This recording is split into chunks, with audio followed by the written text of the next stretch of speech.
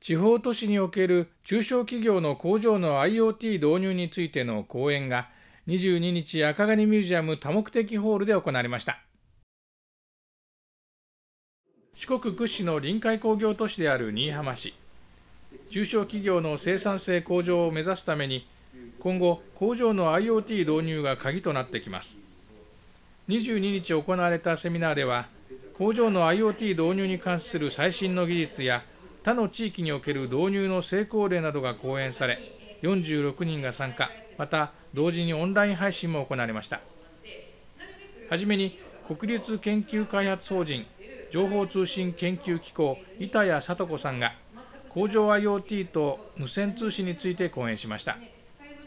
板谷さんは自ら製造現場や工場に出向き IoT 導入の課題や問題点を探り解決策を提案しています。今回のセミナーでは特に無線通信に特化し実際に現場で起こっている無線通信の問題について紹介。例えば無線通信の電波の伝わり方指向性を理解せずに機器を設置した場合近くに置いてあるにもかかわらずうまく通信できないという問題が起こります。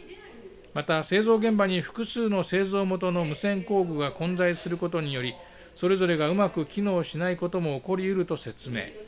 このような問題を解決するために板谷さんはこれまでに目に見えない無線を可視化する取り組みを行ってきたことを紹介し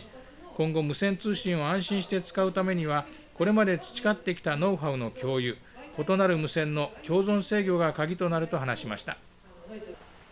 見えるようにどういうふうにしてあげるのかっていうところがすごく重要だと思ってます。で、えーと、データを取って見るっていうそのつなぎ目ができたりとかすることで金属の強度が落ちると部品として使えないと伝えしたいところ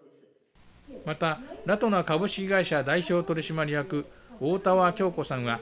巨大なロボットや最新の製造機器を使うことなく小さなサーバーであるエッジコンピューティングを使った IoT 技術について紹介。